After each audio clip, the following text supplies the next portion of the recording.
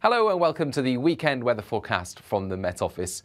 Actually, for the first time in some time, there's plenty of weather to talk about this weekend because high pressure, which has kept things relatively quiet recently, is releasing its grip and we're replacing it with low pressure, often to the north, and tighter isobars. So it's a windy theme through the weekend, especially in the north. And in fact, we start off Saturday with gales for parts of Scotland, especially exposed northern and northwestern coasts and some heavy rainfall. That really mounting up across the Northwest Highlands by the start of Saturday, but the heavy rain clearing then and the gusty winds taking the cold front south. There's a weakening feature fizzling out as it pushes into central parts of the UK. But it stays blustery in the north. Brighter skies follow the front, but also colder air with these strong winds coming from the north and northwest those showers across Scotland turning to snow above around 400 metres or so, and some sleet and hail at lower levels, especially in the far north. Meanwhile, further south, the cloudy picture for much of southern England, the Midlands into East Anglia and Wales. We start off without a frost or fog patches because of the cloud and the increased breeze. And that means it's actually a mild day on Saturday in the south and it stays dry until this weak feature comes along later on. Further north, temperatures dropping through the day. We peak at around dawn and then we're back into single figures by the afternoon.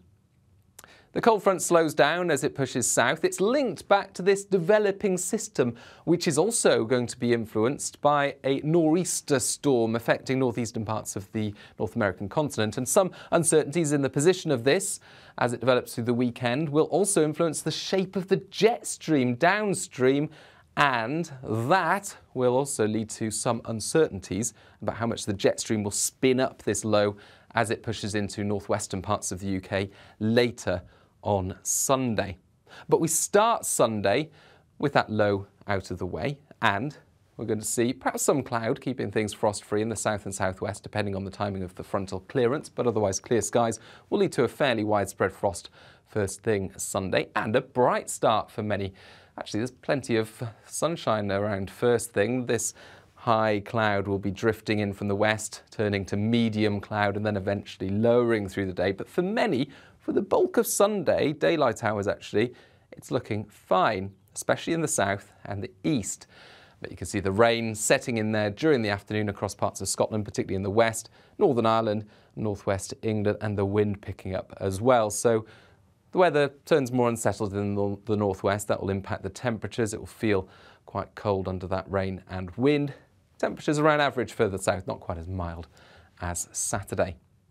And then really the uncertainties over the development of the low to the northwest of the UK become quite important for the second half of Sunday. As we go into Sunday evening, it looks like it's going to turn increasingly unsettled across the north, heavy rain and strong winds, but there's the risk of really strong winds, gales sweeping across northwestern and northern parts of Scotland, particularly exposed coasts and the Northern Isles. And there is the risk, depending on the depth and the track of that low, of snow, especially over the hills of Scotland as the system clears away and we pull in colder air from the northwest.